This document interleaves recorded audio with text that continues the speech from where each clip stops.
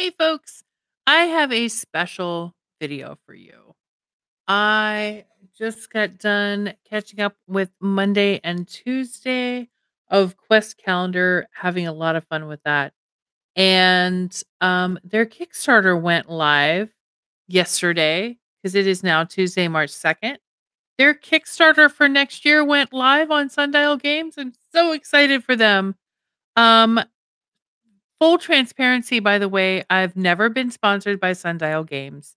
I chose to on my own because I was so enthusiastic about the idea of this calendar when I very first saw it on Kickstarter on a Facebook ad. And I never buy anything from Facebook ads. But I chose to back the Kickstarter last year. I chose to purchase it at the $55 uh at $55, which um, was I wanna say the $30 tier level, and then I had an add-on to it. So, um, I did that again this year because I'm so excited. I was so excited to see that they were doing another one. Because you guys know, if you've been following my stream and my, uh, Dragon Staff of Maladoria quest list or playlist you know how much I love this calendar. I love it so much. We've had a good time. I've had a good time. And uh, so I was wicked excited to see that they were doing another Kickstarter for next year. And I'm like, shut up and take my money already, please. And I reached out and I said, Hey, I really love this calendar. I'm so happy to see you doing another Kickstarter. So, full transparency, I am not sponsored, but I was asked to do a review.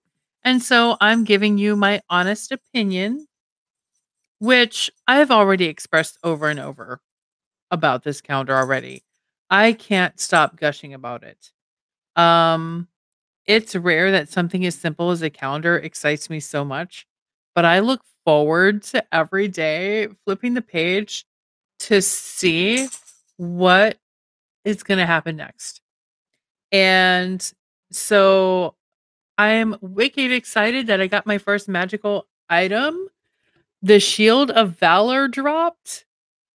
So now my thief has a Shield of Valor, which she might choose to sell later, but for right now, she's going to enjoy that plus one to her armor. But look at how pretty. The art on this, we're going to go through some of the previous pages. The art on this calendar is so cool. So there's the bugbear and the wolf we just defeated. There's the guy we just rescued. There is, by the way, where to back quest calendar for next year if you so choose. Rock Trap. Here's one of the maps.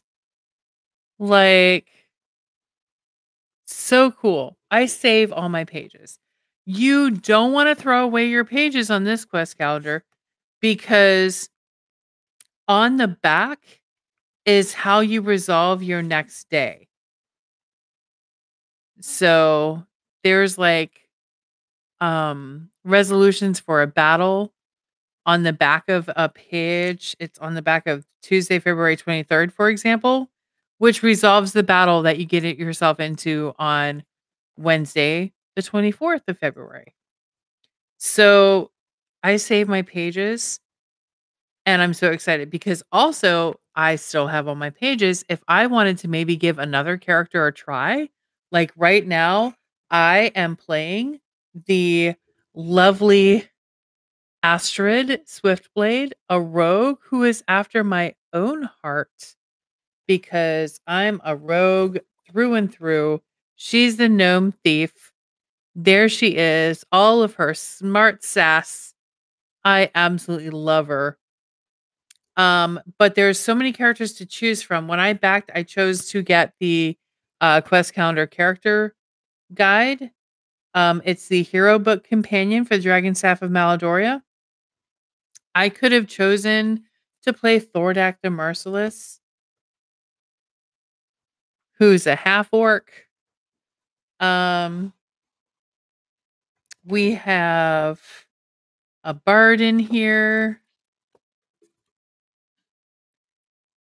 there's I actually almost chose this, and that's kind of I may go back and play her because she's gorgeous. The half elf druid. Like, look at the detail. She's got a little ferret, a sweet little ferret on her shoulder. She's got a bow. That bow is like something out of Lord of the Rings. it's beautiful in that outfit. She's amazing. She is Ferris Leafwind, the half elf druid. Um, and so I can actually go back through here and play. Again, play more because it's a game. The replay value of this is pretty cool. Because there are there are times where you make certain decisions based on a role or certain things happen based on a role and of course you know you go back with a different character different stats roll again the role changes and then you get to see a different part of the story. Um i got a set of mini dice from sundial games that come in this cute little bag um, I remember having a choice of green, blue, I think red was the other color. I chose the green ones. And they're a little mini set. So if I wanted to like take these with me, I totally could. Absolutely adore these dice. I've had so much fun with how small they are. Um I got the dice tray for this year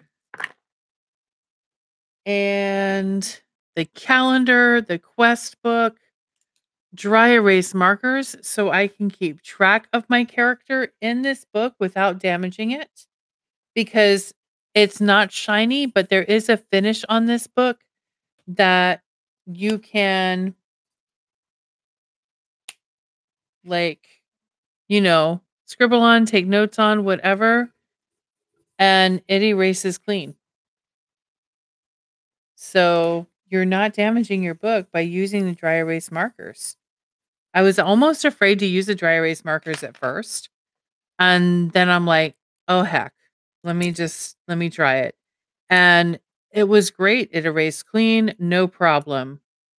Um this is honestly one of my favorite calendars I've ever bought.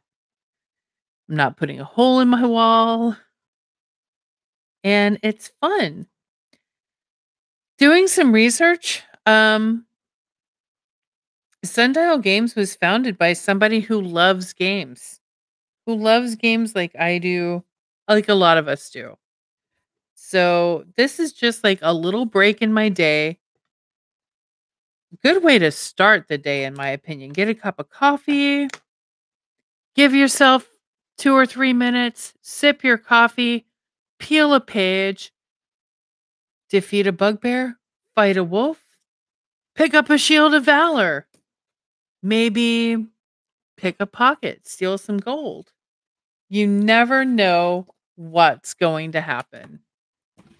So go to www.sundialgames and check it out for yourself. You can check out my playlist for Dragon Staff of Maladora play along with me. Absolutely. Um back the calendar for next year. I would love to just continue to do this again next year. So, uh yeah, I love this calendar. It's no secret how much I love this calendar. I never loved a calendar like I love this calendar. So, I hope you guys have fun with me. Check out the playlist.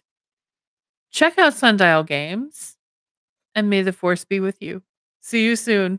I'll be back uh, Wednesday for Quest Calendar. Take care.